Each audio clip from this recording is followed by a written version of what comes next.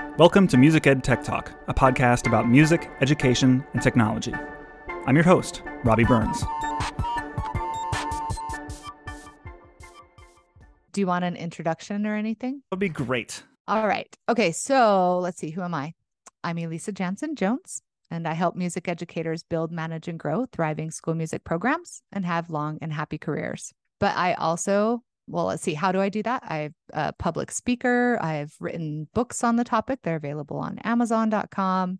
I've done many, many workshops. I've coached hundreds of music educators in developing their own instructional materials. I've hosted online conferences, events like all of the national honor ensembles during the pandemic, that kind of stuff. I like to think of myself as a sort of lifestyle guru and entrepreneur. I'm a serial entrepreneur. And my day job right now is I'm the senior manager of artist relations and digital education for the Conn-Selmer Corporation. And I'm a mom of three amazing kids. And yeah, I'm an athlete. I'm an it. athlete. I got 17 spam calls the other day. Yeah, that yes, that's a lot. That's not that's a little bit more than I have ever received, but it is every time we find a way to get rid of the spam, the spammers figure out a way around that way. It's just kind of like the cycle of life. I get all yeah. these texts where it's like, "Hey, it's Jen. Are we still going out later?" And I always wonder like what's what's the catch? Like what are they going to get? Like I don't understand SMS technology enough to understand that if I reply some snarky thing, if it's going to like put a virus on my computer or something. So I just usually delete and move on. You just never know. Like, are they collecting my personal info? Like, what are they going to do with it? And I'm not a super, you know, private person. I'm not, you know, I, I feel like I'm pretty easily found and pretty public. But I did just set a boundary for myself as I've taken on this role, in artist relations, that I don't want to give every artist on our list my cell phone number. So I did request like a corporate number, which will ring through Teams. Pretty tricky technology. Rings. So it rings the Microsoft Teams app, which you have on your phone, but you can, like, I guess, control the notifications more thoroughly. Is that right? Absolutely. And then I know it's like from an artist because it's coming through teams and then they can they can do all the same stuff. Like i was uh, i was going to set myself up with a google voice number which has been successful for me in the past which allows you to screen calls and and it, it it was one of the first ones like doing audio transcription of voicemails which even still is way better than what apple does on voicemail transcriptions by the way which are just comedic in in their assumptions. So anyway so it's kind of like it's kind of like that. It's just like a phone, except that it doesn't have to be my number. It will look like they're calling Elkhart, Indiana. Yeah, that's really helpful. So like I, I use Slack a fair bit and I do like the that like inside of the, you know, there's like my phone's notification settings, but like the Slack app itself lets me do stuff like this particular channel of conversation can ping me all hours of the day, but this one not after 3 p.m that kind of stuff is, is really useful. I know Teams is sort of like a, a, clone of it in some respects. So that's very cool. You have it's like you have a day phone and an iPhone. Yeah, yeah.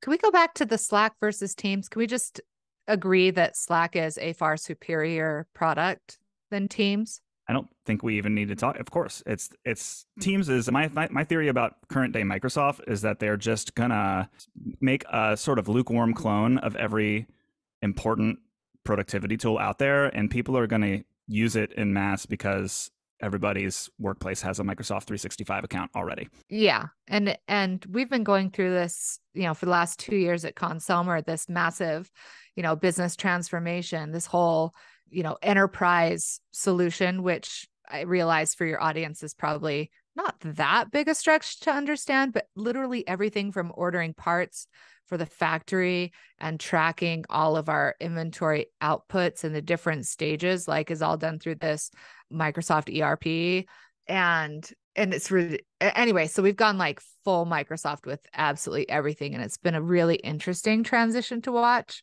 versus somebody like me who you know through my entrepreneurship attempts I would say successful successes entrepreneur successes, successes. in entrepreneurship you're describing um, the repeat success of those efforts.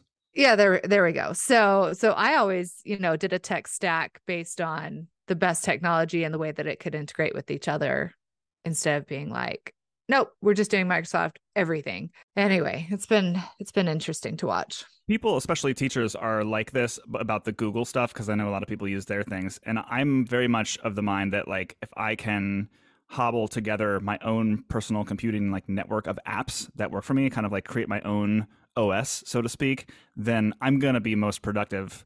But there's like but then you're building it. So like there's things that i know that i would benefit from like google features if i was like fully committed to using the google stuff instead of just like using it for what it's good at and then mostly i use a lot of the iwork stuff. So you know microsoft is the same. Like it's cool. They have a new now they're working on a competitor to notion so like they're picking up on all these i don't know if you follow the personal knowledge management apps at all but that's been a growing thing over the past few years. And so now they're making like it's like an all-in-one Canvas app that handles text, images, video, snippets of Excel tables, PowerPoint presentations, notes. You know, it's sort of just like a collaborative workspace, but a little bit more like information and media focused rather than like communication focused.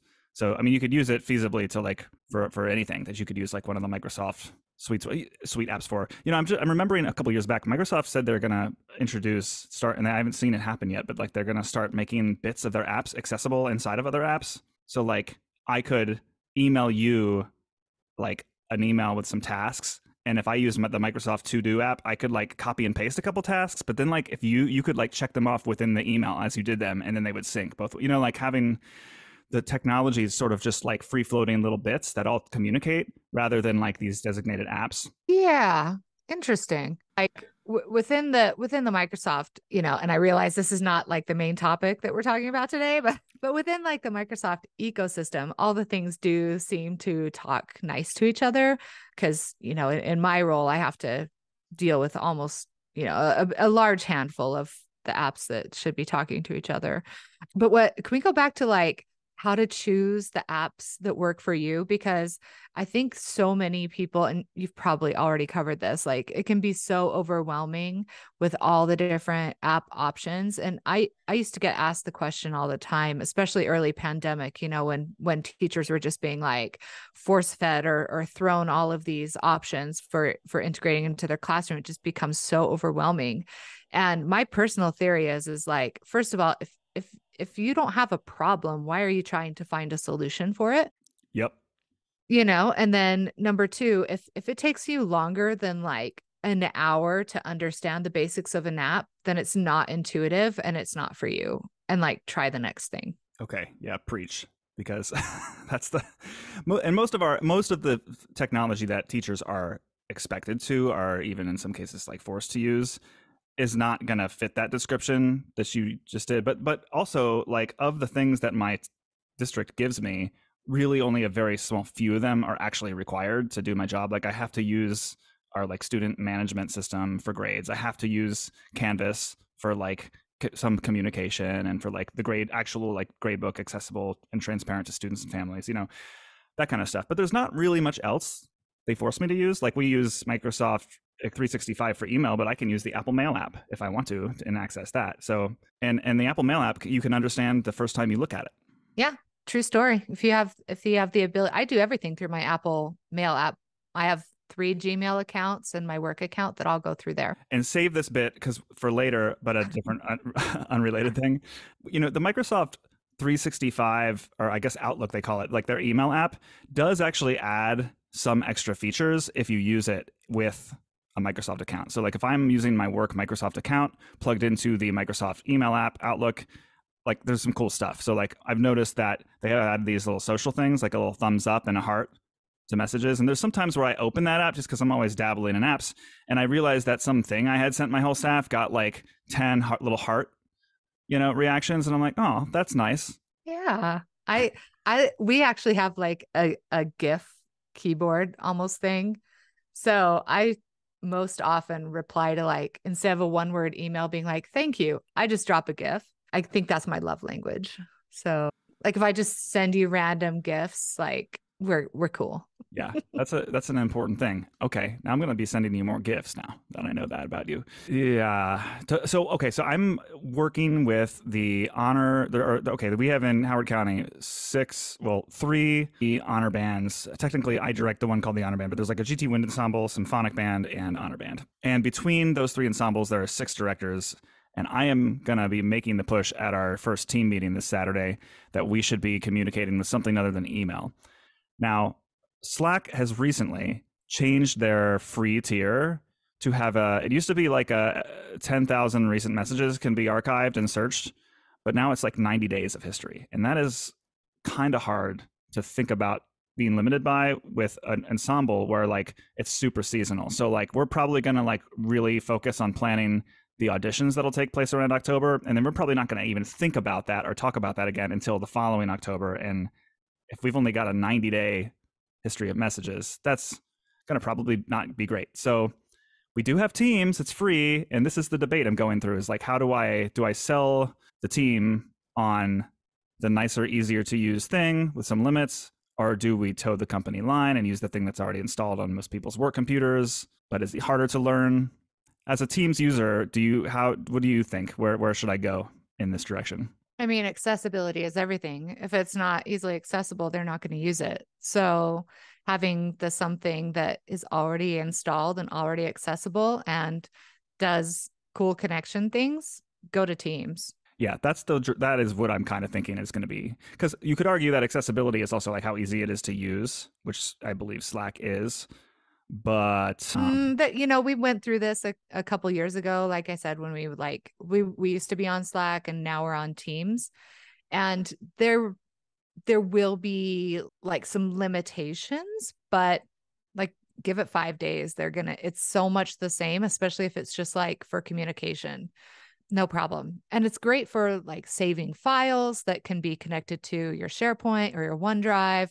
It's all it's all just going to be saved on the same you know, cloud server. So I don't know. That'd be my recommendation. Like it's the same password as their email. Just go with it. Yeah, that's the hard truth that I needed to hear this morning. What what other hard truths can I help you with, Robby? I can put I my I can put my coaching hat on. Well, here's the thing. Should we go backwards then? Because actually on the list of topics I sent you, you'd be surprised at how existential I can be on the topic of social media, Instagram threads, and summer self-care, which Do you even know what I mean by putting summer self care on this list? So, summer self care, meaning that you use this time to recuperate your energy so that you can dive headfirst into a fresh school year? I mean, I know you believe in that. So I figured that as someone who is a little bit struggling with the idea of returning to school already, that maybe you could, like, you know, talk me off a ledge and then i can assume that lots of other teachers who are listening to this are feeling that same feeling and are benefiting from your wisdom and oh, passion. oh, okay let's let's hit this because it it is i like to think of myself as someone who who has enough life experience in enough different realms that i maybe have something to offer in this particular area especially since i wrote a best-selling book on it. Anyway so here's my theory on self-care is that it's not a summer thing. It's not a one time thing. It is a daily and constant thing. So, for the idea of going back into a school year where you understand the anxiety and stress that you're going to be under, you can mentally and emotionally prepare for that by establishing a daily self care, let's call it a practice and mindset as you go into the year. The thing that used to always help me when going back into school, and please understand, like my first couple years of teaching elementary music, I was building a business at the same time. And I felt my day job was a burden, an obligation, and something that I was not trained for and did not want to do. Don't tell anybody I said that though. Okay. so the point is, it was an obligation that got me like out of my first marriage, which I needed to do. And it was like just my paycheck while I was building my business. Okay. So I was a little salty about it and did not want to go back. But the thing that I, the, like the, the mantra that almost helped me was that I still have my personal time, right? Like, yeah, I'm going to go to school, but I'm not going to be there forever. It's going to end. The bell's going to ring and I'm still going to come home. Like going to school doesn't negate the fact that I can still be coming home every day. And it doesn't negate the fact that I can be taking care of myself and progressing in all the ways that I want to be progressing.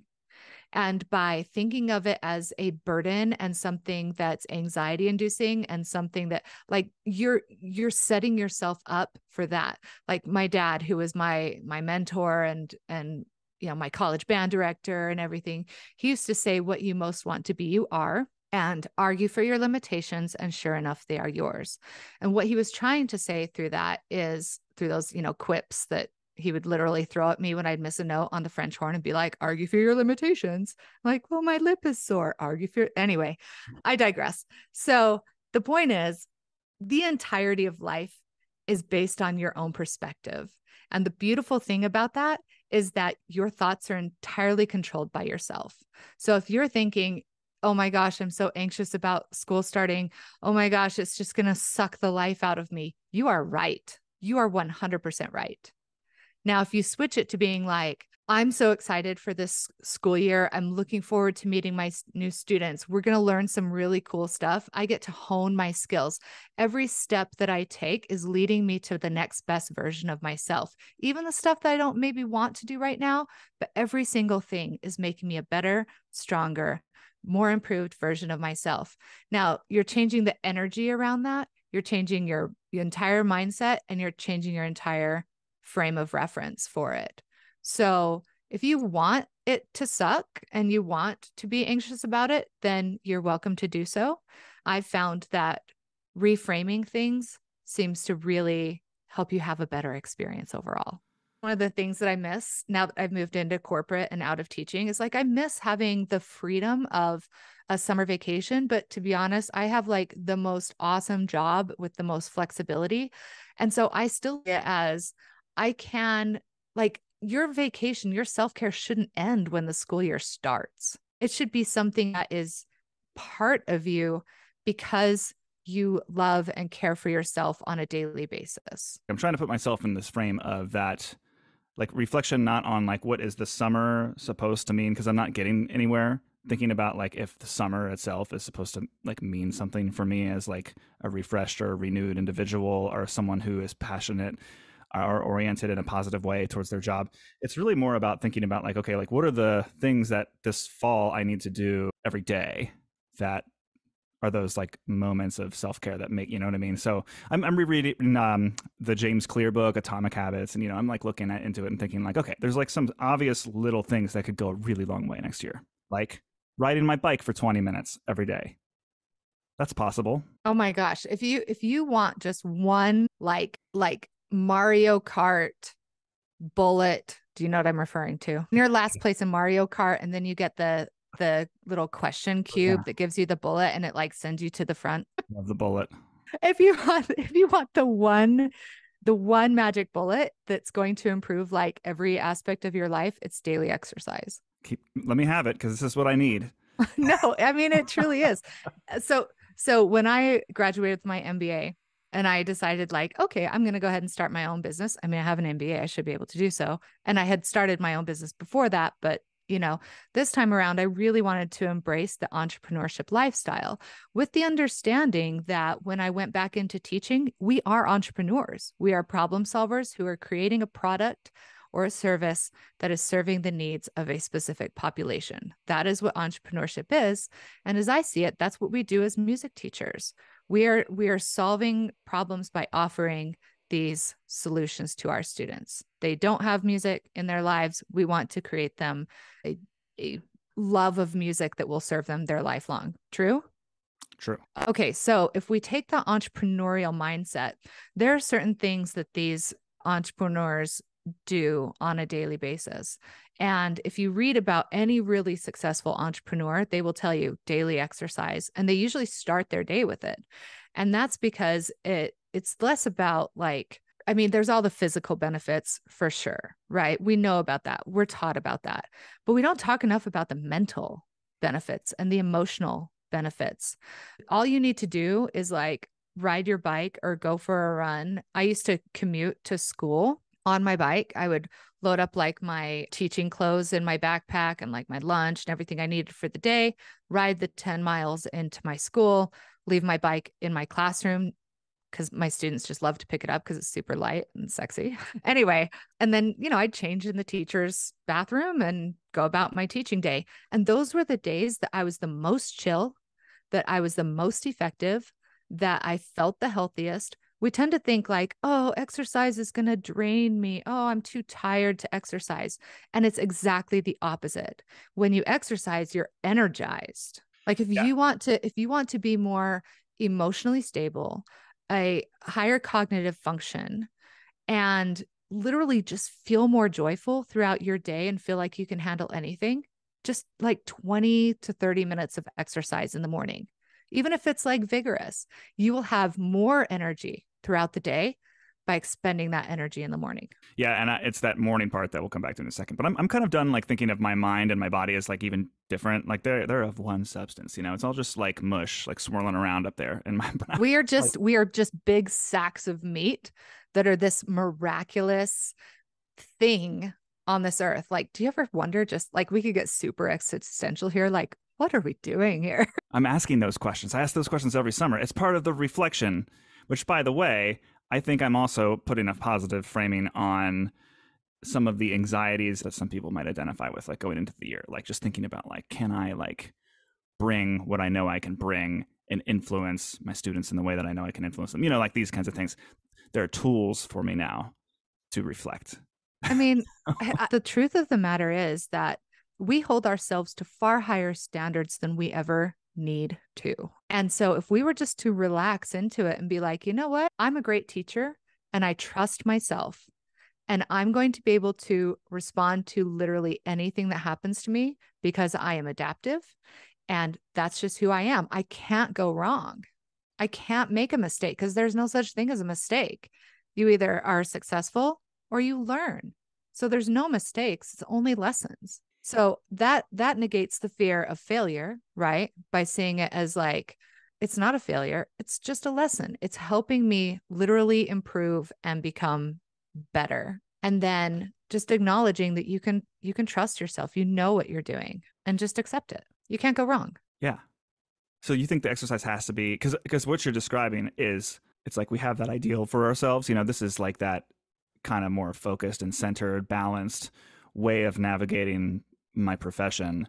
But it really does help to slip into that mindset if you are also like well to start off and that's that's where like the exercise and the release of the things into my body by doing so that's why i really am starting to think it's got to be a morning activity and it is the hardest time of day for me to like do it because i really like to sleep till the last possible second where i know i'll be to you know to work. So I mean, I I'm a morning person, but even I struggle to get up sometimes. For example, yesterday I did two long bike rides. I have this thing where my kid isn't ready to get his driver's license quite yet and he started marching band and we live like 15 miles from his school. Okay. So to save on gas and to let him drive, we drive out there together. I leave the car, I hop on my bike, I ride the 12 to 15 miles home, depending on the route. Okay.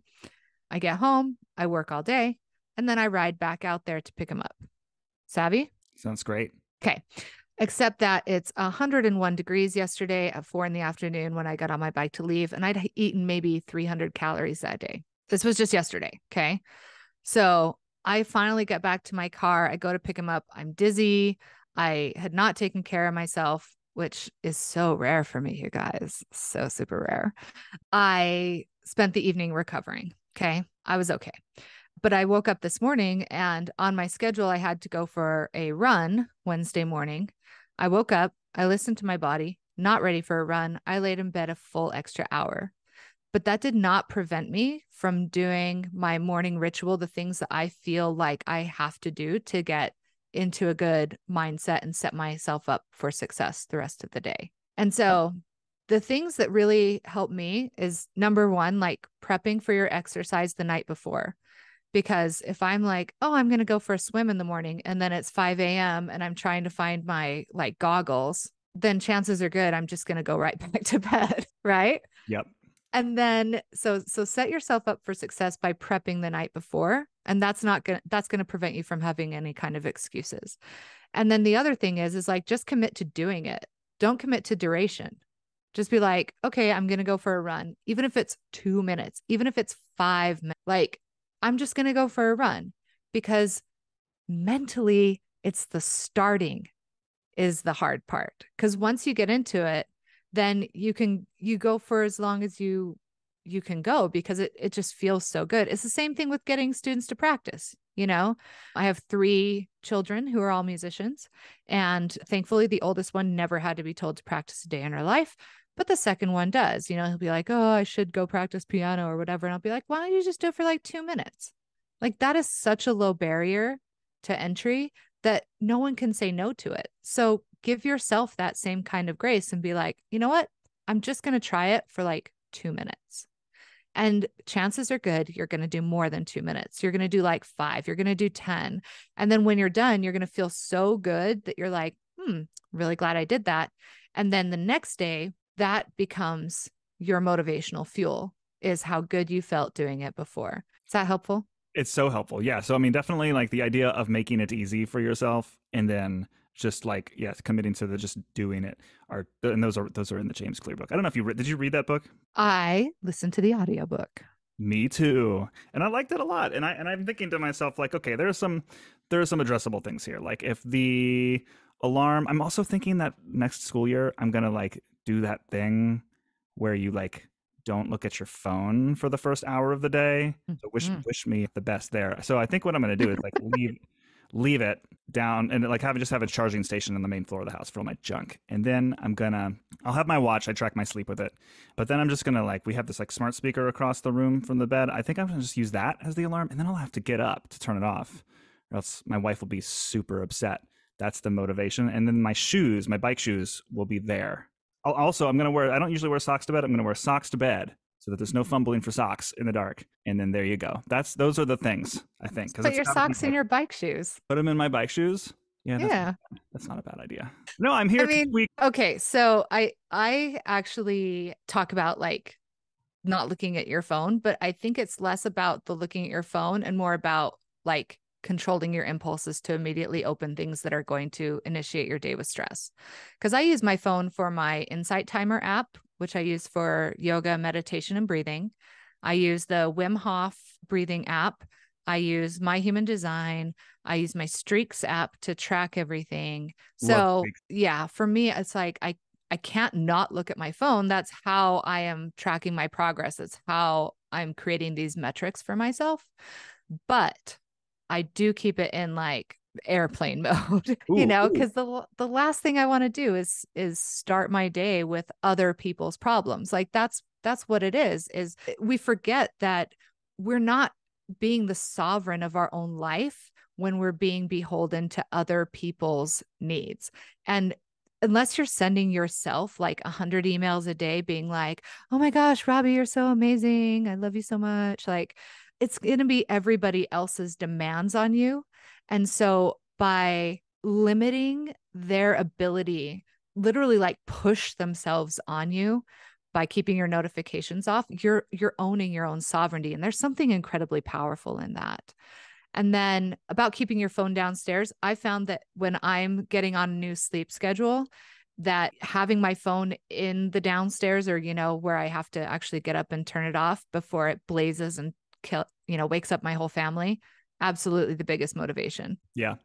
I think that's part of it too is just the need to, to you know re- like actually do something in order to address the alarm. So i actually do like to use a lot of i use quite a few tracking apps but i and actually yeah, i went ooh ooh there because i would like to i feel like i can slightly improve your technological workflow if you're using airplane mode. Can i can have i told you the good news about focus modes? I mean hit it the, Wait. the show's most reoccurring theme probably oh year. no no no like focus modes let's see what what are my focus modes? Let's see i'm on personal right now. Oh i'm I on have, music ed tech talk right now but i was previously on personal. I have work i have sleep i have fitness i have studying and i have driving and then just general do not disturb. And then yeah i have it set up so like if i'm in sleep mode my children can always text or call me. I'm always going to get their stuff. But if i'm studying literally nobody can can reach me. So I think what I need to do because I have a sleep one, you know, configured for exactly what I want to come through and not come through when I'm asleep. But I I have a shortcut that I programmed which triggers into sleep mode like when I hit a button on my phone that I only press when I'm pretty much like in bed. Like this is the last thing I'm going to touch on my phone before bed and it like turns all the lights in the house off and like opens my meditation app and stuff. So so I'm thinking to myself like because that sleep mode like immediately snaps out of sleep mode the second that I like unsnooze or uh, you know hit the okay button on my watch alarm, I'm pretty much like only actually sleeping in sleep mode. What I what I really need is like maybe it's something like your fitness one where it's on first thing in the morning because my personal fo- i'm always in a focus mode personal focus mode eh, lets a lot quite a lot of things through like text messages and things from lots of different ranges of people so i'm thinking maybe i need like a fitness one where it's like okay i'm not sleeping but i'm also like not accepting messages at this time. Maybe that's the the solution. And then it would of course Yeah. no, no apps. Because you know a focus mode i don't know if you know this it doesn't just control like which apps notifications and people can get through. You can actually set a custom home screen and lock screen on a per focus mode basis. So you could say like when you're in fitness mode and I go to the home screen, you only show me like these four fitness apps and then like none of the notifications come through, none of the badges show any unread anything, like just these four apps. Oh my gosh, that's so hot. It's great. You can actually make a watch face and a lock screen conform to a mode as well. So like I've got my kid on my personal, but when I record this show, I have like the, you know, the album artwork on my phone Aw.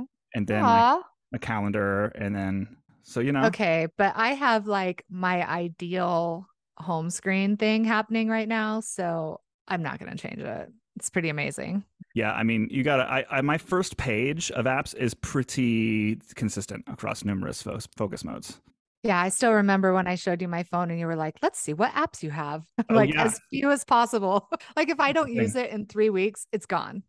What what is the point of it being in my life? But I'm pretty minimalist in in all things like that, except for my books.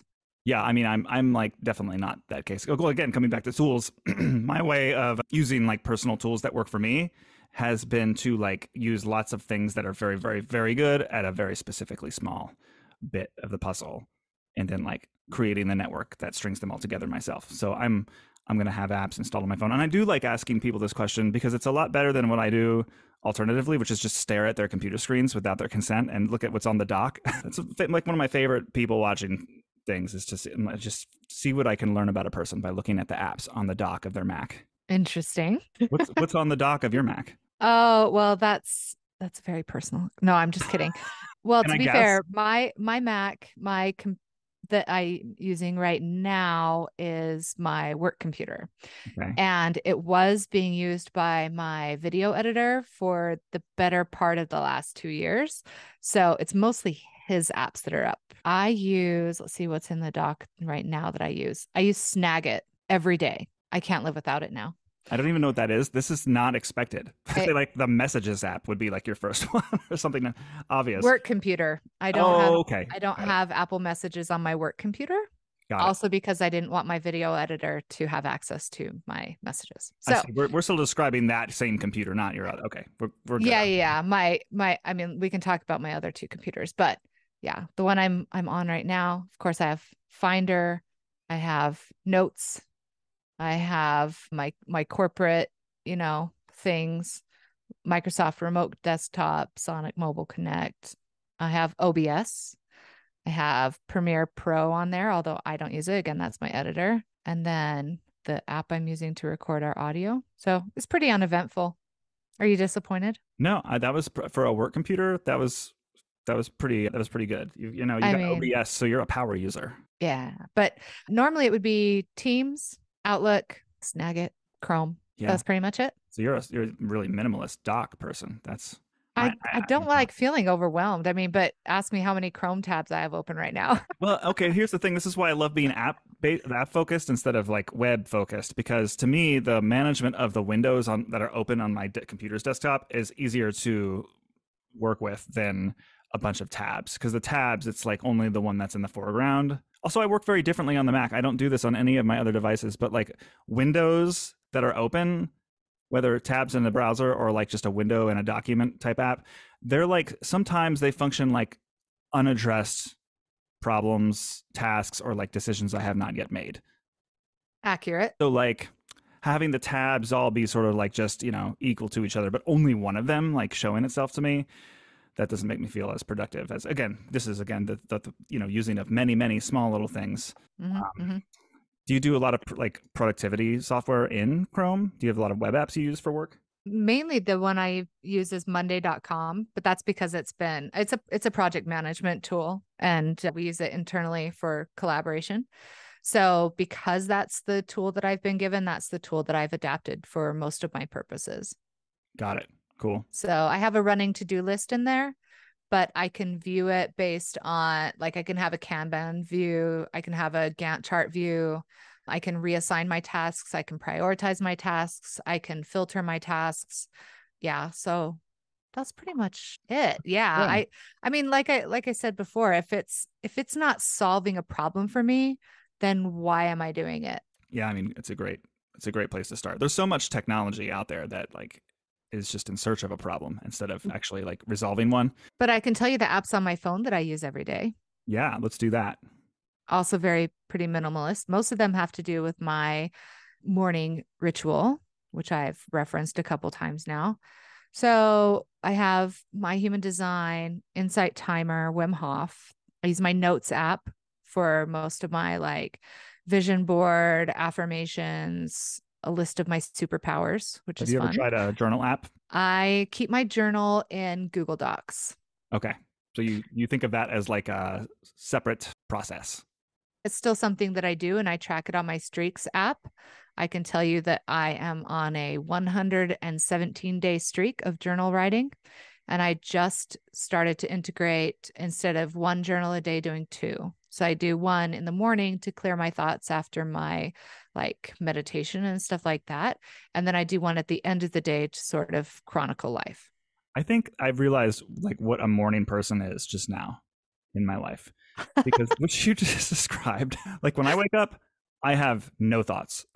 None. Like a journaling would would not I don't even know what I would write. But at the end of the day, it's like the most chaos you can imagine happening in your mind is like mine. Like the most unimportant things are equal in importance to like things that like we won't survive the day if I don't do or address. Well, I mean, can we can we talk about I mean, I have a really strong morning routine. I want to know Um, exactly what you do if you'll share it.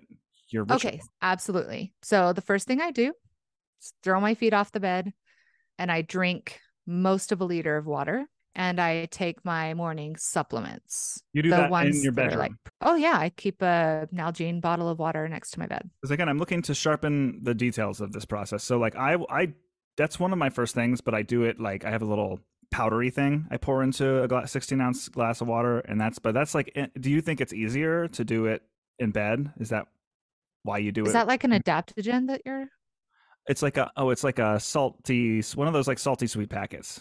You know what I mean? I'm not okay, like a power pack or something like an electrolyte. Correct. okay. Yes, that's the one. a hydrating solution. Okay. Re- remember, I'm also an athlete. So I'm going to know that stuff. All right. So, all right. So I hydrate first, take my pre, like the supplements that you want to take without food. I take omeprazole because I have a weird stomach thing. Anyway, wow, this is like getting so personal. And then I go downstairs and I make coffee for my husband and tea for myself. I used to drink coffee. I've been off it about 10 days now, and I'm working through some loose leaf, like really excellent teas. And then I, Hold on. come I- back we could go down that. We could go there, but I want to know have you not brushed your teeth yet? This is important to me. oh, I've taken out my retainers. Okay. Okay. Got it. Yeah, oh, Go yeah. I can tell you why I asked you that, but it's not that important. I'm just- yeah. Okay. I know that a lot of people have that as a habit, like that wakes you up. I find that the the drinking water is what wakes me up. okay. So that and then and then here's my mantra, right? Is when I wake up and I'm like, "Oh, I'm so tired. I'm so tired. I just want to go back to sleep." Then I remember that get up to wake up, right? Like it's the actual movement of getting up that's going to wake you up. It's not laying in bed that wakes you up. Laying in bed is triggering to your body that it wants to sleep and now is the time to sleep. So if you're like, "Oh, I really struggle with getting up or waking up." then just get up and move your body. That's why having your alarm away from your bed can be such an effective tool if you're adapting or you want to be, because it's going to force you to get moving. And that just signals to your body, okay, it's time to wake up. And that is what wakes you up. You're never going to wake up while laying in bed, period. So I go downstairs, I make hot drinks. I love my hot drinks. Come back upstairs, leave the coffee cup by my husband who's going to sleep for another 90 minutes. And then when the weather's nice, I have a little setup on, we have like a balcony off the master bedroom. Then I will just go out there. So all summer long, that's my spot. And then when it turns into colder weather, I come downstairs where it's like a family room with my huge desk, all of my antique books. I have a fireplace, and then I have a sun lamp so I'll come down, turn my sun lamp on, lay out my yoga mat, drink some hot drink. That's the other thing that starts to help wake me up. And then I go immediately into yoga. I open my Insight Timer app, I start my yoga, and I will do between four and 40 minutes of yoga. Just following what my body needs feels really good, wakes me up. Next, I do my Wim Hof breathing depending on how much time I have, I'll do between one and five rounds of Wim Hof breathing. I'm not going to go into it. You're going to have to look it up. like today, remember how I said that like I had a really hard day yesterday. And so I was like in recovery mode until this afternoon when I go for my run because I'm not going to miss my run today. I just moved it to a different time when it's better for my body. Okay. So, like this morning, I was running out of time because I had to take my kid to band, but I wasn't going to skip my Wim Hof. So I just did one round. Whereas on Sunday, I did five rounds because I had more time. But it goes back to the it's about consistency rather than duration. So I do my Wim Hof, and then I usually will listen to something from my human design. Again, we could go into it, but I'm going to let you just look it up. It's super cool. It's like a it's like a self-identification app or self-knowledge, self-discovery. That's the mm, best way. Okay. Self self-discovery. And then I will set my 10-minute meditation timer again between 10 and 20 minutes or 5 if I'm feeling frisky or in a hurry. And then I will read through my affirmations, do my visualization, remind myself of my superpowers and remind myself of why I'm committed to my goals. Okay all of that's very important to kind of get my brain right. And sometimes now I'm a very active dreamer. I have lots of dreams. Often they are extremely realistic, like to the point where sometimes I'll wake up and it will feel like a memory and I'll have a hard time like figuring out which is dream and which is memory.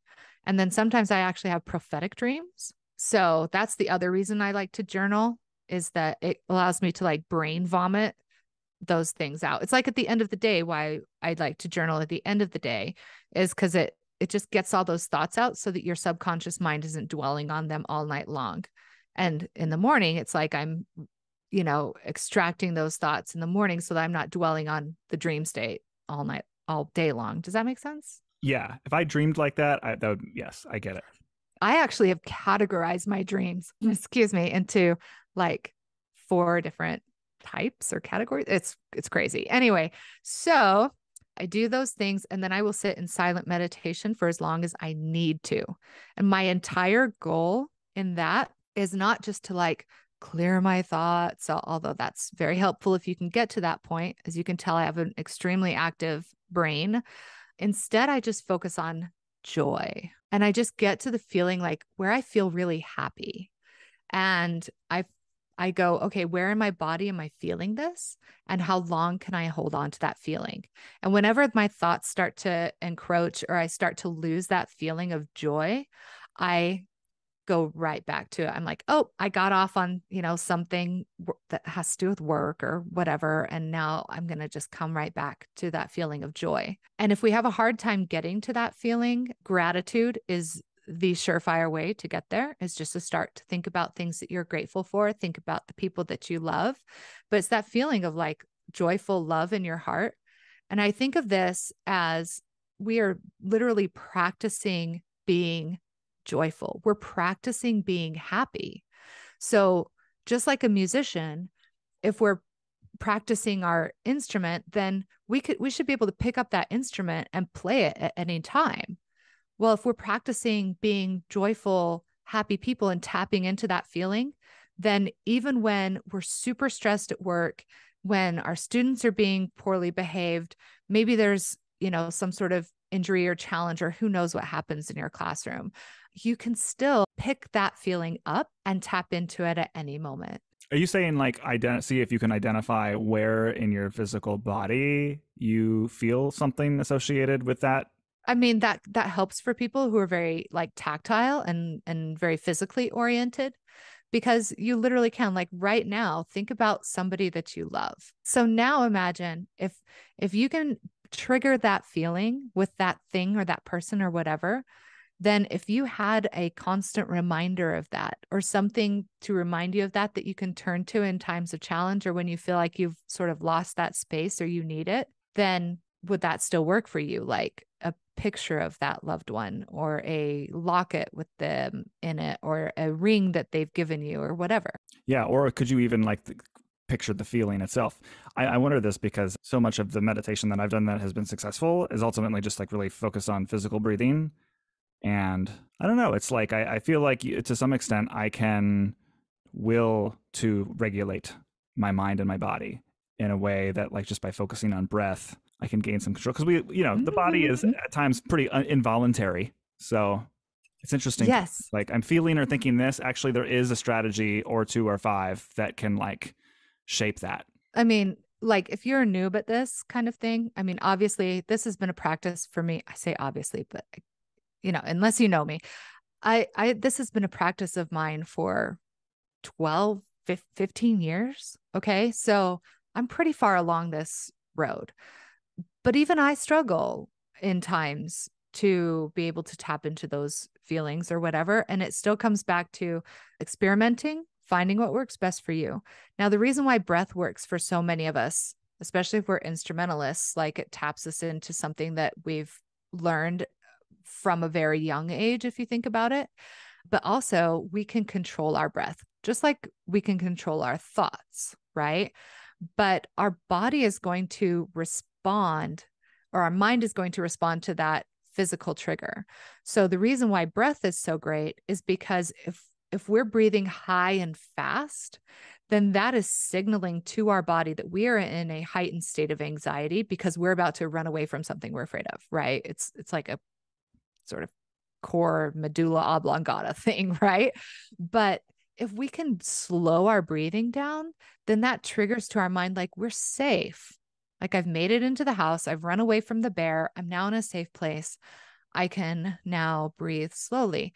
But nothing says that we can't be in a high anxiety situation i like to think of a you know elementary school concert performance with 450 kids in different states of excitement like to me that was a pretty high anxiety situation but if we can control our breathing then that literally signals to our brain like i'm safe. I'm okay. It's okay for me to be happy. That's why breathing works so well. It's your mind responding to the physical triggers of your body. Totally. So I don't think that we're not even through your morning ritual yet, are we? I mean, we're we're pretty close, right? So I I do my meditation and and I keep my journal open so that if there are thoughts or like, oh, I need to remember to do that today or whatever, I can quickly write those down and get right back into my state of joyful practice. And then I I finish up by writing in my journal and then I go usually and go do some exercise at that point because then I can come back, shower, makeup, all that get ready for the day. It's good. It's long. You just described kind of like a perfect morning though for me, but in order to achieve it, you needed like a number of hours before any of your work begins. That would make me anyway have to go to bed at like 7 p.m. Okay. Okay. Remember how I said that it's less about duration and more about consistency? No, I, I hear you. It's so, like a... Robby, could you do 30 seconds of meditation? Sure. Could you could you spend five seconds reading an affirmation? Sure. Okay. What if you spent another 30 seconds just visualizing the next version of you and what does that look like? Yeah. Okay. So there's so starting the starting. You started by starting, is what you're saying. Yes. So the key here, and and I, I it's not like I woke up one day and was like, I'm gonna build myself my perfect morning routine, and I'm gonna blah blah blah blah blah. Like I read a book years ago called The Miracle Morning, And that author suggests like six things that we know we should be doing every day to move our needle forward. Again, it's it's written for entrepreneurs, okay? And his are writing, silence, affirmations, visualization, meditation, exercise. Yeah, yeah, yeah. Missing coffee, but otherwise good. Right. So so that kind of got me thinking about it, but it has literally taken me like 7 years to figure out the things that are working best for me. And it doesn't mean that I can't, you know, like if at one point I'm like, okay, I feel pretty good about my human design, I'm not going to need to do that anymore.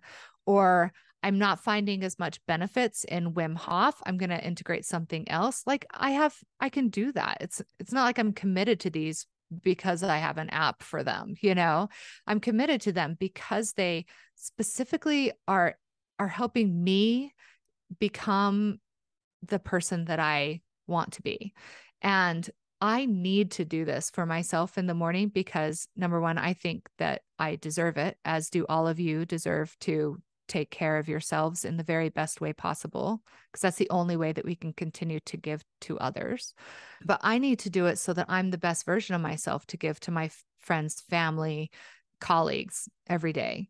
And on the days when I don't do it first thing, like let's say I have a, a really early morning meeting because it's with a colleague in Asia or in in Europe, which happens like meeting with the Henry Selmer Paris people always starts at like 6 37 a.m. for me because that's like 4 4:30 for them in Paris, right? So sometimes I might skip it and then come back to it later in the day, but I will feel the effects of that. Yeah. So I think it just comes down to like, where do you want to be? What are the things that are going to help you in the morning?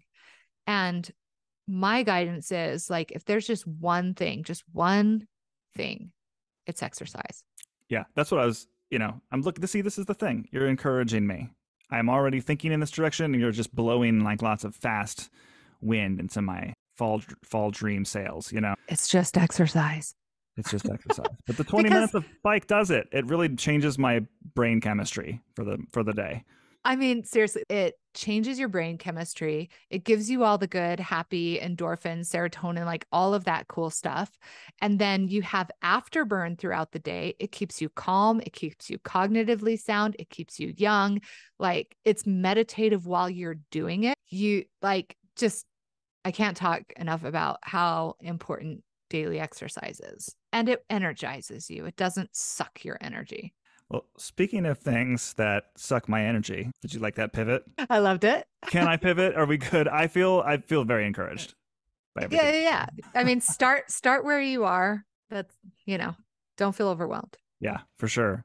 Okay, I I have this on here. I don't know how much you have to say about this topic, but when we met at TMEA this past February, you let me talk your ear off about ActivityPub and Mastodon for a very, very long number of consecutive minutes in a Starbucks. And thank you for that. You're welcome. I'm at a point now where I feel like social media is dead. But then, like a few weeks ago, Facebook just released Threads, the most fast adopted and I think quickly uh, like downloaded app of all time. So it's like their Twitter competitor. 10, I think over 10 million user accounts in the first week. What is your what is your take on this? You're a very you're very present on social media. Like I, you're someone who like you give people like a window into yourself, and I feel like other than just like posting like my episodes of this and, recently, like I'm kind of like doing being less personal on social media and distancing myself from it over the past few years but i'm starting to wonder like is there benefit to me like maybe in a more careful or mindful way starting to have more of an internet narrative that I am putting forth into the world. And this, of course, is a broader question, but I think of it in relationship to this new social network because Twitter has been like professionally for me like a social network that actually has like influenced the course of my career and has like introduced me to people I would have never met otherwise. So like I'm th- I think importantly about a lot of these tools, but I'm also like trying to create a healthy relationship with it all. Where are you at with that? Eh, so let's talk about some of the things that you said. Number one, tools. Number two, like how do you use it? What do you get out of it? And and then what does it allow you to give to others? Like if you don't understand, first of all, like dopamine is a thing. dopamine addiction is a thing. So I think if we come into it with our eyes wide open, that they are designed to trigger our dopamine receptors, which is like can drive an addiction. In other words, it makes us feel like a, a little bit of a high. And you notice that when you turn off the app and you're like, whoa, I think I was like a little high. Anyway, so like acknowledge that they are intended to be addictive and trigger our dopamine receptors. And just as like my little break from coffee right now, it's important to take little breaks from the dopamine so that you can recover and then come back to it. So I actually took a break from all social media for like the month of May. I just put up a post like, hey, I'm going to be off social media for the month of May. It allowed me to recuperate my and and reset my dopamine, okay? So then my question for you is what do you get out of social media and what do you give to others yeah. through it? What I give is interesting. That's the harder question to answer because there's a part of me that thinks that I actually could spin a social media relationship where it is entirely self-centered. And and what I mean by this is like like I use it because there there are things that I think that I am not putting out there that are worth putting out there. I'm just not 100% sure, sure what they are. And and I don't I know that I don't want to be putting out there just like everything. That seems like entirely too much and has problems. So I guess I just it's that you know I could I could just go in there and log on and promote my thing or throw up a photo and then like log off and then like ideally not interact with any of the comments. but th- this is one of the things I'm trying to avoid. But it, it is that like what do people get from it?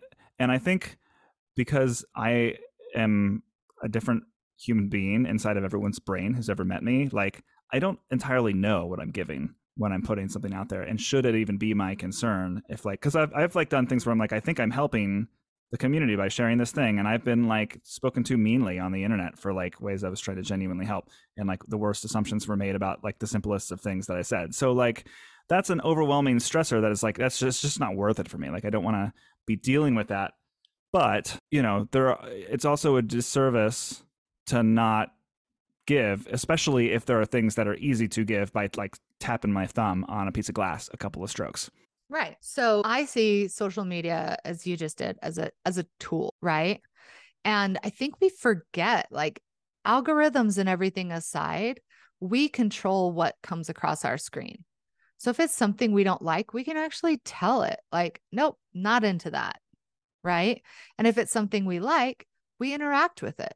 Like that's what it's designed to do is it's not and I don't think anybody created now I'm not well versed in every single social media, so this is not a blanket statement, but most of the social media like companies aren't there to I mean maybe harvest your data, right? But but it's not intended to be detrimental to you nobody wants to hurt their users because then those users never come back. I, I, yes, but it's the it's not because they want to not hurt the users. It's because they want them to come back. It's like you know they want all of the attention from you that they can get, and this is the thing where I, I feel like the training of the algorithm is superficially there are tools to do it but the thing is training itself on the worst of my impulses with the device in my hand not the best and so like it's always because they know that like I'm gonna linger on some like news article that makes me feel terrible, but like in a doom scrolly way. Like they're gonna well, see, see if you're yeah, I mean if you're into doom scrolling, it's gonna show you things that so so I've really been like a lot of things in my life intentional about this. And so I on Instagram, I follow only the hashtags that I want to. And if it's something I don't like, I tell it I don't like it right? That's because I'm very intentional about the stuff that I take in. Oh my gosh, the day that I stopped following the news was like amazing. I'm with you there, and there, you're you're definitely like the more steps because the the more steps you make it easier to do good things. Coming back to our bike ride conversation, like the you know the easier it'll be to do. But the more steps you make it difficult to do things that you maybe don't want to do in your life, you'll make it harder to do. It works positively, but like in a reverse kind of way. I guess my the way that I'm cynical about some of the more like mainstream social networks is like like if I go on like Twitter or something and I like put a, like a mute filter in it. Actually, you can't even trust that Twitter will work correctly anymore these days. But but my point is like if I mute a word, then like chances are it's like never going to show me that. But like the Facebook, Instagram, like their algorithm is pretty much like everything you just said that you do and take agency on it will like listen to you, but then it just retrains it based on your habits. And so, and it's always like I'm fighting the thing. If I didn't feel like I was, if I could just check a box and say, behave this way and it would respect me, it would be cool. But the, the truth is, is like human, you know, my mind is of course going to start to linger on certain things and then it's going to give me like a little echo chamber and say like the things you've been lingering on we give you more of. So of course then i see more of that. Like i mean there will there will be months on facebook where like actual friends that i like know in real life like they'll post some cool picture of their kid doing something awesome and i'll like i won't see it but i'll see like you know quite a lot of ads. So i don't know. I'm it's so, hard hard to not get sucked in you know so, first of all, like we need to acknowledge, I'm going back to our own sovereignty in our lives. I think too often we just accept that the things that we're shown, we just are expected to accept them.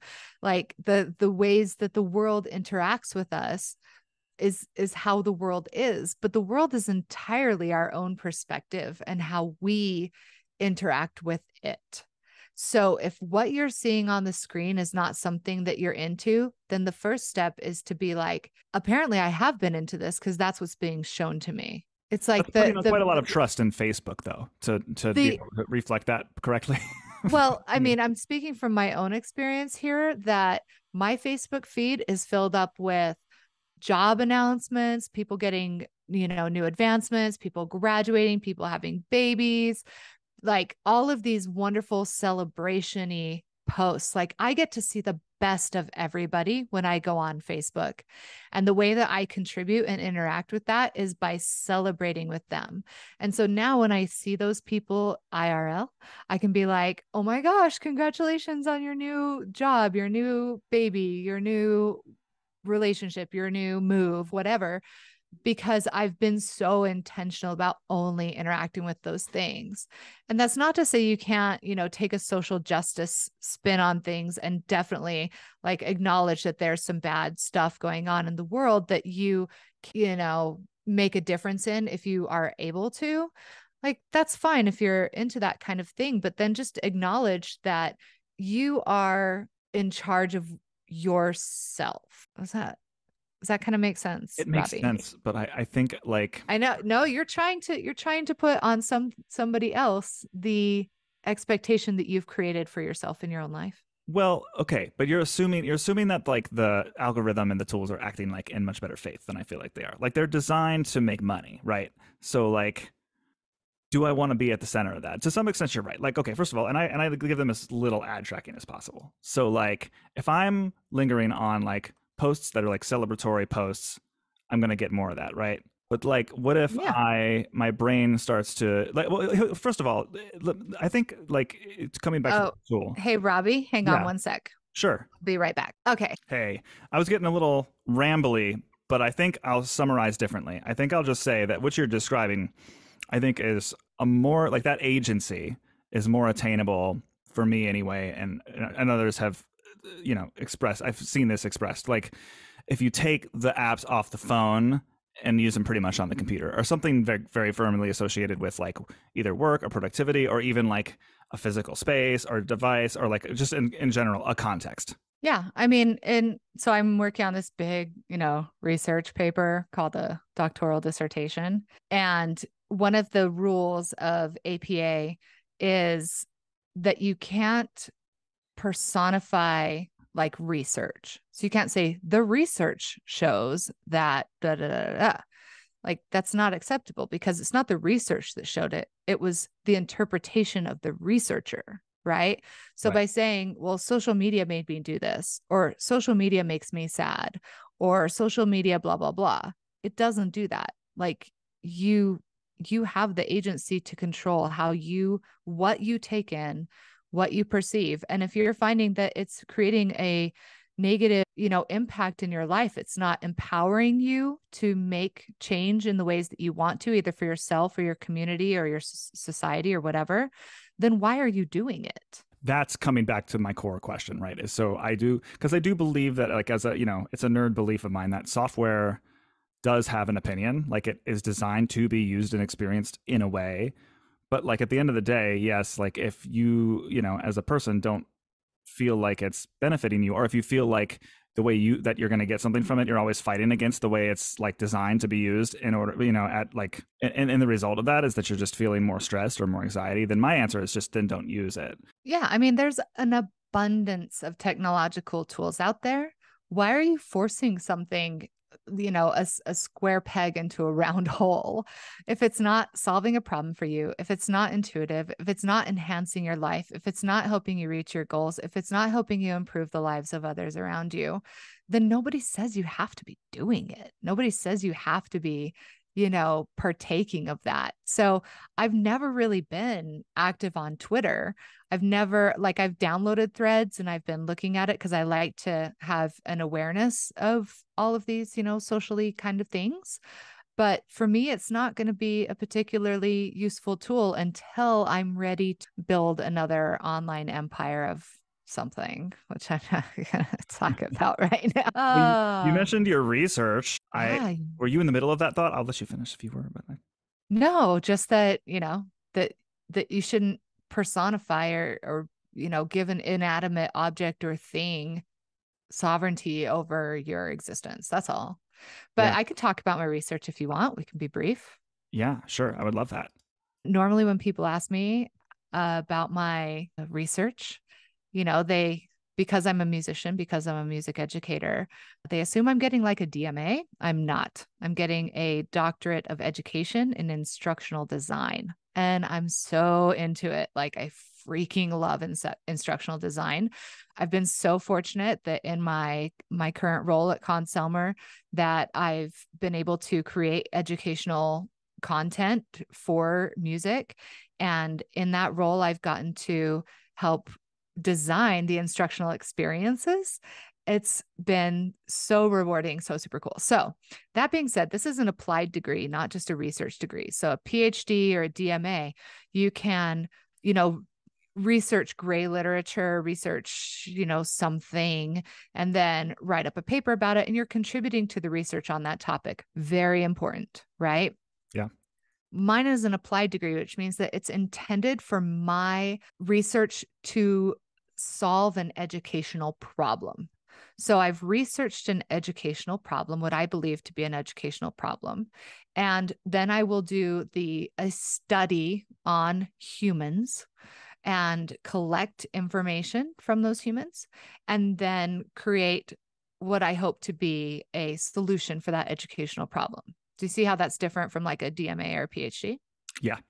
So it's taking me a little longer than some of my friends. And that is really hard for me, but it's going to be fantastic. So, the educational problem that I'm addressing is that over the last several years, we've seen incredible social change, technological change, technological adoption in the music education classroom. We've known since like the mid 1970s that the way that we're training music educators is not exactly linked to what the job actually entails. It's even shown in much of the literature. I have like a 70 page literature review where it, you know, we, I've researched all within like papers from the last like five years. I have a couple things that are older, but essentially that what colleges are requiring for a individual to graduate and be a certified music educator is like vastly misaligned with what they're actually going to have happen to them in the classroom, which is creating issues of burnout, praxis shock, you know, stuff like that. And there's not a lot of ways that we are uh, helping sort of bridge those knowledge gaps. And then in addition to that, we look at the way that information and communication technology has been adapted into the classroom, the types of tools that are, are necessary to create the types of learning experiences, and the, the way that we've changed instructional strategies in the music classroom. I've narrowed my audience down to secondary instrumental, although I hope that this research design will be able to be easily replicated through elementary music, through choral music, through even post secondary music.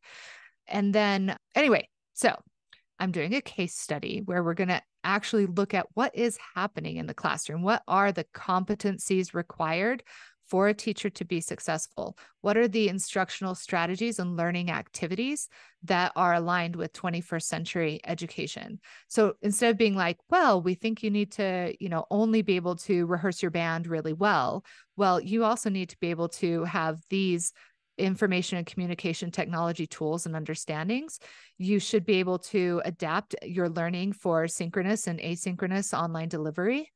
True? Yeah. Are you finding that you know a lot of teachers who are teaching online?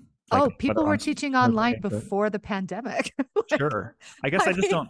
It's not. It's it's like seems. I know so few people who who did it before and who still do it now that I guess it's like I feel like that was not a core thing I was missing from my university experience, but I, maybe I'm just like not awake to how much of this is happening. Well, and let's understand that that like now now that we've done it now that we've had a mass shutdown no one says that can't happen again you know? So so us being able to quickly adapt and adopt new instructional strategies and learning activities that can be delivered through remote means is an essential tool and then looking at not just what did the pandemic do and force us into and change the way that we perceive music education, but then what about all the social unrest that we've been going through? So there's a whole section on that and looking at everything from DEI and social emotional learning and you know relevancy based voice and choice all of that is in the literature review so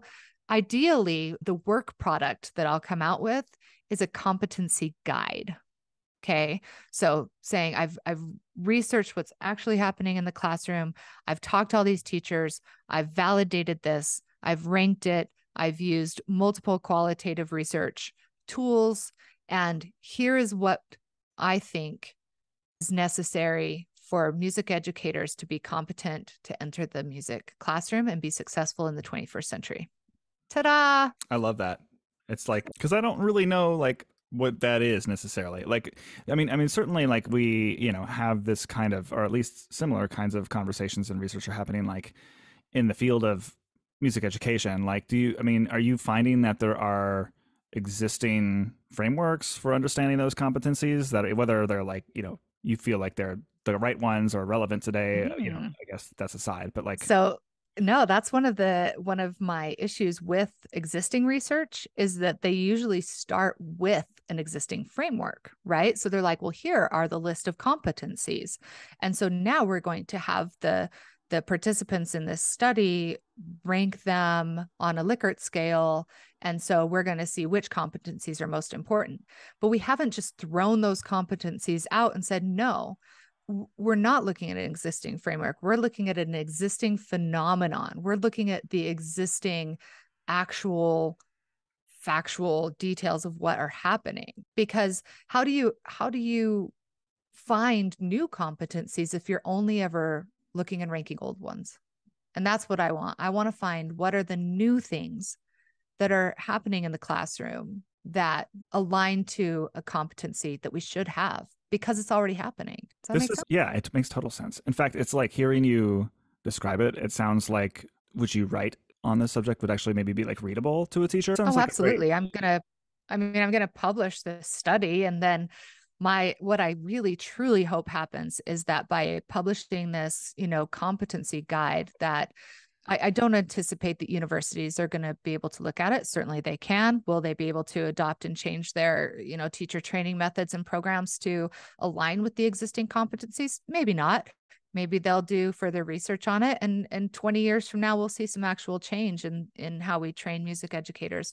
What I'm hoping for is that some innovative programs embrace it and that professional development organizations and you know teacher teacher training within you know the in-service training opportunities that we have look at this competency guide and go you know we're pretty good at these ones but we're missing these ones and so these are opportunities for us to create professional learning experiences that help close those knowledge gaps yeah i'm really curious to see where the, where this leads you and to read. I need to. Yeah. I mean, if you're if you're listening to this and you're a secondary instrumental educator and you want to be a participant in my study, could you just email me at elisa at elisajansen.com?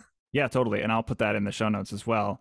Should I be involved in your study to this capacity? What what are what exactly like what kind of data are you taking from teachers? Is it just like the the questioning, or are you like doing any observer observations or like interview? Oh, so it's going to be a triangulated case study, which means that there will be three data collection opportunities for me. One is going to be an online questionnaire that includes some light demographic information. Of course, everything can be completely anonymous, but we we want to be able to associate like and make sure that you're you're fitting the you know, study inclusion criteria. Okay. And then we I will use a Likert scale as part of it, exploring existing competencies, instructional strategies, and learning activities that are from the existing literature. And then the third part is open ended questions. And that's where we hope to discover the additional competencies that are not in the existing literature. So that's phase one. Phase two is interviews. So I'm hoping to have some one on one interviews with with people just exploring like what do you do in your day? What are the instructional strategies that you're using? What how are you doing? Like is it true that you're just rehearsing music to perform at the next concert? And then when that concert's over you hand out new music and then we're rehearsing music until we perform at the next concert. And then after that you hand out then you get the idea. Okay? Yep. or are there things that you're actually doing with the understanding that you know maybe that's my job right now because that's what the school expects of me is rehearsal performance rehearsal performance. But as a properly qualified certified music educator i should be able to then pivot and take a job in the next district over teaching music technology and piano right? Yeah like and what underlying set of skills do you feel like should empower you to do that that are like the well i guess this is what you're looking to discover. I guess yeah like, i mean that are the... missing from the current curriculum you know in, in higher ed anyway Right. I mean, we're really thorough on on our music competencies. Like right. we're we're all really really good musicians, you guys. But we're missing some of the teaching competencies and we aren't spending enough time on personal and and professional competencies. Right? So those are things that a lot of other literature has already covered. And as an instructional designer, I of course want to focus on like yes, those are those are those competencies, the ones that we know of. I want to know what else. What else? Where are those other gaps? So anyway, so interview is this is phase two. Those interviewees will also participate in the questionnaire, but we'll be looking at the questionnaire and being like, okay, so what else? What else is there? And that will allow me to sort of lead the conversation and and go deeper into discovery in a way that somebody who's just typing into a, a screen may not be able to get at. And then phase three is a focus group. And I'm not just looking at like music educators, I'm also including fine arts administrators. So the people who are externally the ones who are coming up with the job descriptions, the ones who are hiring the music educators. Because it's one thing to be like, here's what I need to do in my classroom every day. And another thing for the fine arts administrator to be like, here are the things that we think they should be doing in their classroom every day. So, getting those multiple perspectives and the focus group will bring together those two participant types and reviewing what the outcome was of phase one and phase two, right? So I'll have a draft competency guide and then we'll be looking at that and being like, okay, is this accurate? Help me rank them. What is most important here? And maybe it will turn out that they're like, no, the personal competencies, like being able to time manage, being able to, you know, do personal care, being able to, eh, you know, collaborate with others. Like those are what I would consider personal skills. Maybe those are actually more important than the music skills. I would argue that they are, but I would also wonder like how how do you prepare a pre-service teacher for those things without just giving them more classroom experience. Oh, well, but here's the thing. Why do we need classroom experience when we have simulations? I'm just saying, no, you know, that's a, this is one of my my pet peeves. Let me get up on my soapbox here and sure. say that, you know, we keep saying we need more field service. We need more more time actually in the classroom. No, we need more that's like saying a plastic surgeon needs to be cutting people open more and doing surgery more for them to understand. There's lots of other ways to learn than by practical experience, right? Like we can read about it, we can watch about it, we can make decisions about it, we can create it, we can simulate it. And so those are the the newer modern opportunities that we in the instructional design field apply in corporate training for heaven's sake you know why can't we use them in music education? I'm not discounting the importance of field service. I absolutely 1000% am behind it. But nobody says that we can't run simulation after simulation and and use machine learning to you know help prepare music educators more effectively for the actual things that are going to happen or may happen to them. Tell me more about these child classroom simulators that I'm missing out on. I mean, there's so many, there's so many ways to do it. You know, everything from here's a scenario, A, B, or C. What do you choose? Right. You know, like a practical example that actually happened to me 51 fifth graders, dress rehearsal for a performance. Everybody's standing on risers. One of the girls didn't have breakfast and locked her knees, passed out on the floor off the top riser, right? That's that's the scenario. A, B, or C. What do you do? Yeah. Right? Do you have, do you run to the office and get help? Do you use the phone and call for help? Do you, what do you have your students do? How do you occupy the other 50 students who are in the room? You are the only adult. You know, like you can, you can present actual scenarios that happen and give them options, let them think through it.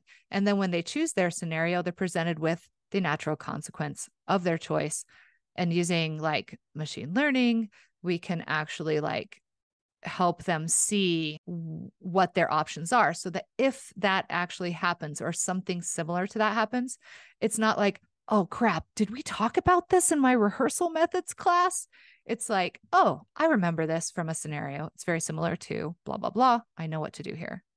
Yeah i mean some things it helps to have thought about before they happen, but will like likely never happen. But in that chance that they do, it's going to be bad. And you, I mean, but some things are going to happen to all of us. So why not just be prepared for a medical emergency in your classroom? I feel like that should be something that we cover. right. Well, we do. I mean, every time I do a CPR training, I'm like, huh, okay, this doesn't make me feel like I could do this tomorrow, but it probably does to some extent qualify me better than zero to have been like watching these videos and answering these questions. Um, All right. So the goals of the research: better, better teacher training, less practice, praxis shock, more teachers staying contentedly in the classroom is like, I feel like that's my mission because if we keep teachers in the classroom, then we keep students learning music and we benefit the world at large. So, anyway, We've been talking like forever. Understood. You know, uh, we said we would keep this tight. Well, you and I could talk all day long. I think I, that's, I, I, would contentedly spend like 12 hours hanging out. I like how you, you really so. thought about that number. Like, well, I started with like three and then it went to six. And I'm like, now nah, all day. It is all day. Yeah. We, d- we have before, you know, I enjoyed our Apple Store excursion at TMEA earlier this year. Yeah, it was fun.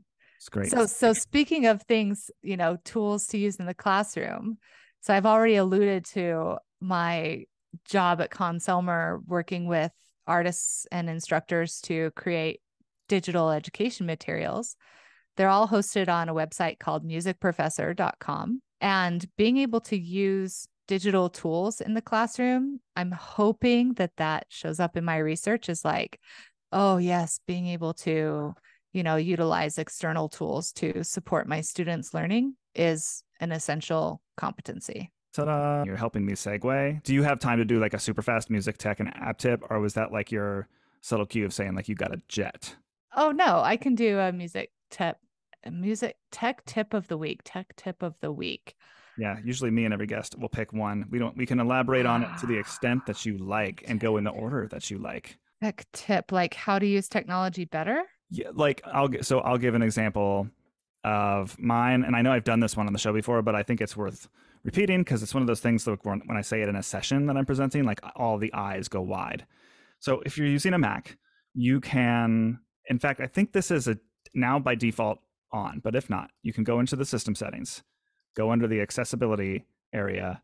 There's an area called Zoom, and if you click it, then there's a little toggle you can turn on which will allow you to hold down a modifier key of your choice. I choose control.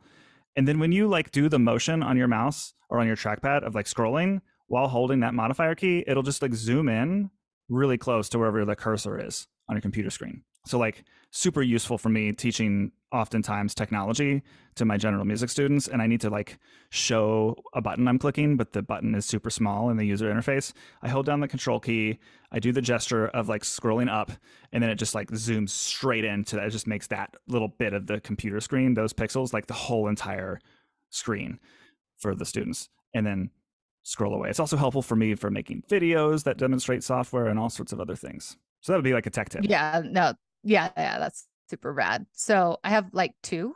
So one is just start using Chat GPT or whatever generative AI of your choices. Just like start and and see what it can do for you. I found it to be very helpful in everything from like condensing artist bios from 17 million words down to like 170 but I've used it for so many other things, removing HTML or adding HTML or creating iframes or like I think that the the the sooner you just embrace it and be like this is a potential tool for me, the better you're going to get at using it.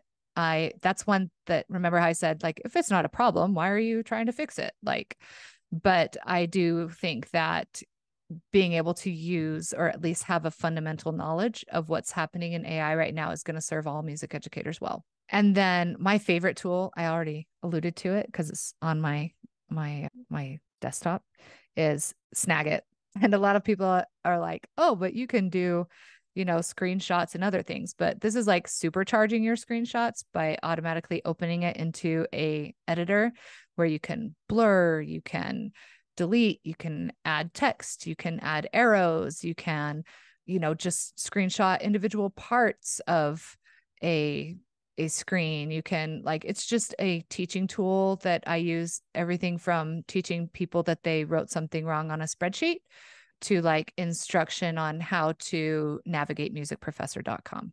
That's awesome. Yeah, I think having a screen screenshot manager of some sort is like a really powerful tool. And they usually do just add a couple of really nice things that the operating system doesn't have, but they're so nice. Like I use one called CleanShot, and mm. it's like mm. almost the same as the way that the Mac, but it's just like the little screenshot once you take it floats in the lower left corner, and then you can like just copy it to your clipboard and then delete it in one click or you can click a, a button to make it just sort of float permanently on you know in a window or you can even click an edit button and like get a tool for blurring out stuff adding call outs circles and stuff oh uh, yeah it's really yeah, kind of nice i i use it seriously like every day so yeah. i guess that was my app pick of the week Kinda, um, but it was also a tech tip of yeah. sorts. Well, thank you. Thank you for doing this. It's been a pleasure. I know that we could go on for another hour. I unfortunately do have to do my normal day job stuff. So. I appreciate you taking this much time. It's so great to talk to you. Yeah, likewise. Let's talk again soon.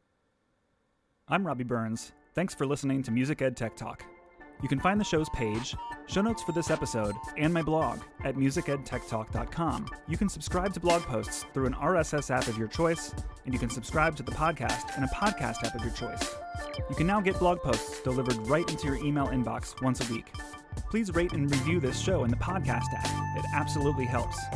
Word of mouth is helpful too, so please spread the word about it. You can learn more about my music and teaching career at robbyburns.com. I'm all over the internet at Robby Burns or underscore Robby Burns on most social media sites. On Mastodon, I'm Robby at social.musicedtechtalk.com. Consider supporting me on Patreon at patreon.com slash musicedtechtalk. All tiers get perks, but even the base tier gets you access to the Music Ed Tech Talk Discord community, where you can chat with other supporters and guests of the show about music, apps, pedagogy, lesson ideas, tech support, and more.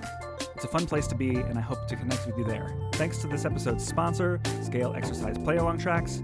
Be sure to check it out. See you next time.